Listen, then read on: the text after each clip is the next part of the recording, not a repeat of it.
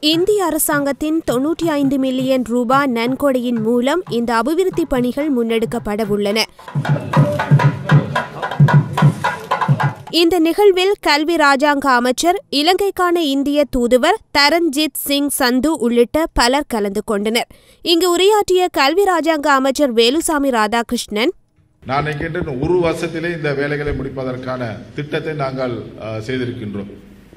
Excellency we want to finish it within one year so next Indian independent day we have to open this building so that's what we are expecting so அதற்காக நாங்கள் இந்திய அரசாங்கத்திற்கு என்றும் கடமைப்பட்டவர்களாக இருக்கின்றோம். அவர்களுக்கு நன்றி கூறுபவர்களாக இருக்கின்றோம். இது மட்டுமல்லாமல் மேலும் மூவாயிரம் மில்லியன் ரூபாய் முந்நூறு மில்லியன் ரூபாய் இந்திய அரசாங்கம் மலையக பாடசாலைகளுக்காக ஒதுக்கப்பட்டிருக்கின்றது. இதற்கான ஒப்பந்தம் நாங்கள் வெகு விரைவிலே கைச்சாத்திடுவதற்காக நாங்கள் நடவடிக்கை எடுத்திருக்கின்றோம். இதிலே ஆறு பாடசாலைகள் மத்திய மாகாண பாடசாலைகளுக்கு கொடுக்கப்பட்டிருக்கின்றது. அதிலே ரெண்டு பாடசாலை ஊவா ஒரு பாடசாலை சபரகமோவுக்கும் கொடுக்கப்பட்டிருக்கின்றது. ஒன்பது பாடசாலைகளுக்கு முன்னூறு மில்லியன் ரூபாய் கொடுக்கப்பட்டிருக்கின்றது.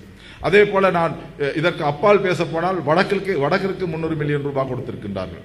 பாடசாலை அபிவிருத்திக்காக. இப்படி பல்வேறு பா- பா- பாடசாலை அபிவிருத்திகளை இந்த இந்திய அரசாங்கம் எங்களுக்கு செய்து வருவதை நாங்கள் அவதானிக்கக்கூடியதாக இருக்கின்றது.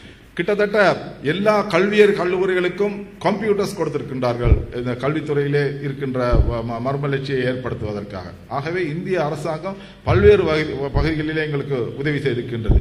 மலையகத்திலே இருக்கின்ற ஒவ்வொரு வீட்டிலும் கல்வி பயில்கின்ற மாணவர்கள் இதை நன்ற முறையிலே கல்வி கற்று ஏனைய சமூகத்தோடு ஏனைய சமூகத்திற்கு சளைத்தவர்கள் அல்ல என்றது என்றதை உறுதி செய்வதற்கான நடவடிக்கை எடுக்க வேண்டும்.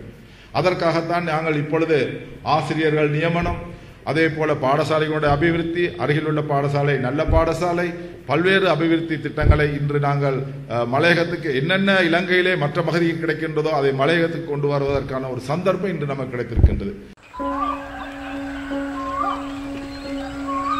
என்ன எடுத்துட்டு வார இந்த நோட்டீஸ பாரு. ஆதவன் நியூஸ்காரர் மோட்டார் சைக்கிள் கொடுக்க போயினமாம். எல்இடி டிவியும் கொடுக்க போயினமாம். உண்மையாவா சொல்ற? நான் என்ன சொன்னாலும் நீ நம்ப மாட்ட. இத பார் உன் போனை எடுத்து ஆதவன் நியூஸ் ஆப்பை டவுன்லோட் பண்ணி பார். உனக்கும் கிடைக்கும். நீங்களும் பெறுமதியான பரிசுகளை பெற்றுக்கொள்ளும் வாய்ப்புகளை இன்றே பெற்றிடுங்கள்.